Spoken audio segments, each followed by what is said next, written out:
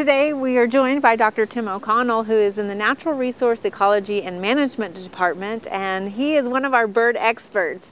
And Dr. O'Connell, you're here today to talk to us about some winter care for birds. Yes, I am. People we, love to feed birds. I do. Absolutely. Mm -hmm. And, and I know it's kind of our interest in the garden that time of year mm -hmm. as yeah. well. So um, you've brought with you some different foods. I know there's always some question about should I buy the expensive? What what do birds want to eat? Sure, sure. So um, there are a bunch of things to consider. One of the things that's uh, really commercially available and pretty cheap would be a mix like that.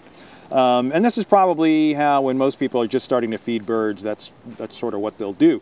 Uh, but there's a lot of filler in here, and it's really not a lot of great uh, seeds for birds. Okay. For birds, the whole thing you're looking for, or what they're looking for, is a high fat content in the seed and then a seed that they don't have to spend a lot of time cracking open to get that fat content inside.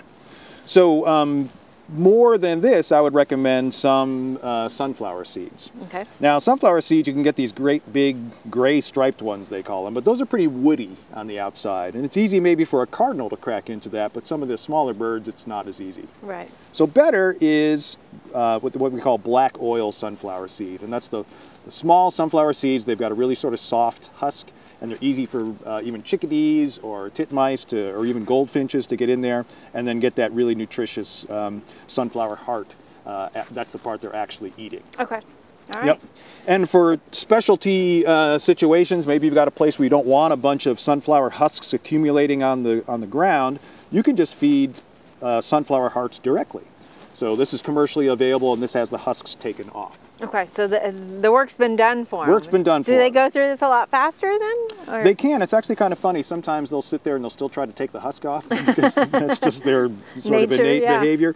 Um, but generally they'll figure it out pretty quickly. And so this is uh, this is nice uh, for a, a, no mess application, but it is a lot more expensive. Okay. Yeah. And, and you've got some uh, non-seed options here. there are some non-seed options. These are mealworms. These are dried mealworms, and these are commercially available now. And a lot of birds will eat these. Chickadees will eat them, nuthatches, wrens. Uh, but so most seed, people, seed-eating birds will eat these. Is that correct? Yeah, a lot of those birds, uh, a lot of chickadees and, and, wrens and things like that, they're really generalists. Okay. Uh, and, in, and in the summertime especially, they'll take a lot of insect food. That's okay. mostly what they're feeding their babies. Um, but other things like uh, bluebirds will mm -hmm. love to come to um, some dried mealworms. All so, right. Yeah. And and can we mix these together? I mean, make a little trail mix for our birds, you, or you can do that. Okay. Yeah. You, the way I look at it is, you can do kind of whatever you want. Okay. um, but what I do for just uh, simplicity's sake and for attracting the largest number of birds is just offer this uh, black oil as okay. my standard. Okay. And then I'll you know throw out some peanuts or something like that, just to, as a little treat, a little extra treat sometime. Okay. And so, do we need to feed the birds this time of year, or I mean, are they dependent on, on bird food no. that we provide? No, birds have been here a lot longer than we have. okay. And they know how to find food, and it's uh, it's natural foods, especially where you've got a lot of great uh, you know native plants planted, uh, native trees. You're going to have abundant foods available for your native birds. Okay. The other thing is uh, overwintering insects. So things like uh, you're looking, we've got some pine trees here with some nice sort of corrugated bark, and underneath those flakes of bark, there are a lot of overwintering uh, insects and spiders and other invertebrate foods, and that's what chickadees and wrens would have been eating historically. Okay. Yeah. Um, so what I tell people, when, if you want to feed birds, do it for you because you want birds close to your house or you want to be able to, to see them and watch them. Um, but the birds don't really need it. Okay. But if you do start feeding birds, keep going later into the winter and the early spring because that's when their natural foods are at their lowest availability. Okay. So they've kind of created that habit that you're providing it and then you don't want to leave them high and dry in the middle. Kind of a jerky thing to do. okay, okay. Man, the old classic bait and switch. Noted, noted. Yeah. Okay, so of course, uh, are there different types of feeders for these different things or what have you found to be the best option for that? You can spend a lot of money on fancy feeders. Mm -hmm. uh, you can spend a little bit of money on really cheap feeders but no matter what, they're all going to fall down. okay. So, uh, so what I look for is something that when it falls is not going to break. So this is a design that I found, again, that's commercially available that I really like. And, and the you thing just I, got this at a local store here? Yep, or? just okay. at local stores Feed here store? in, in, Stillwater, yep. Okay. And uh, it's all metal construction and it's real sturdy. This is marketed as a peanut feeder. Okay. Uh, and you can feed peanuts if you want. That gets a little expensive. well, but I just put my sunflower seed in here and it works great. Um, birds that can cling to things will come and just take one seed at a time usually. Chickadees will do that, Uh-huh. titmice will do that. Um, so they'll take one seed, fly off to a branch, and then open up the seed there and then come back. So they eat one at a time and the seed lasts in there a good long time. Um, but of course, what's going to happen is a squirrel is going to get over here, and the squirrel is going to open this lid and reach in and, and get a snack.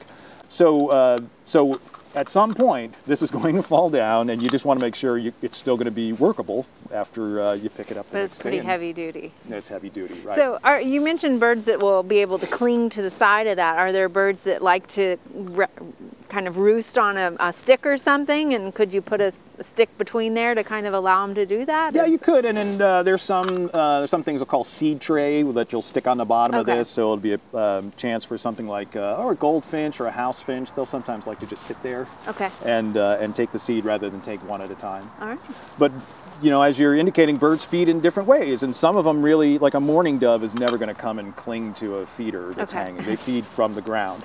Um, so I always also spread some seed on the ground. Okay. You know, to make sure I'm feeding the widest variety of species that are there. Excellent. So, what kind of birds are we seeing this time of year? And will they be around in the summer, or they migrate and they're just here in the winter time? All of the above. Okay. Right. So um, here at the garden, we've had a wonderful uh, hour or so looking around at the birds coming into the, the Uh-huh. feeders here at the garden, and that includes uh, local species that are here year-round: uh, Carolina chickadee, tufted titmouse. They're here eating uh, from our feeders in the winter, and then come the breeding season for them, it'll be sort of April or May. Uh, they will switch over to an almost completely insect diet for the summer. Okay. Uh, and that's what they're generally feeding their babies. Okay. Others, we were looking at Harris's sparrows. Harris's sparrow is this wonderful big sparrow. It's almost as big as a cardinal, and they breed way up north in Canada, and they winter here in the southern plains. So you find them in Texas and Oklahoma and Kansas and Nebraska, and that's pretty much it. Okay. Uh, and they will come to your feeders. And um, so that, that's an example of a species that you really are probably helping a little bit by providing it some substance in the in the wintertime. What about cedar waxwings? I know we mentioned those earlier. Everybody loves cedar waxwings, and, and here in Oklahoma, we typically see them in the winter. Okay. And especially when they're sort of moving through in late winter. They typically don't breed in our state. They're, they're more of a farther north breeder. Okay. So you get them in the wintertime moving around with roving flocks of American robin, and there's usually a few yellow rump warblers in there. And these are all species that will eat fruits in the wintertime. Cedar waxwings are looking for fruits that have um, reached a point at which they're more palatable. Uh, for some of our hollies, maybe that's not till later in the winter after they've been through a few frosts. And that could make them more easily to digest. Sometimes that actually builds up their alcohol content and you get some drunk waxwings. Um, but yeah, that's really what they're looking for. They're sort of hitting different fruits at different points throughout the winter. All right. Well, thank you for all of this information. It's been great. I'm always happy to do it.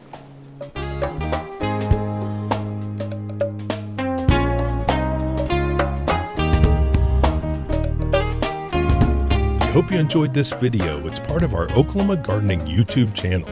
You can also find even more videos on our OK Gardening Classics YouTube channel. And join us on social media for great gardening tips, photos, and discussion.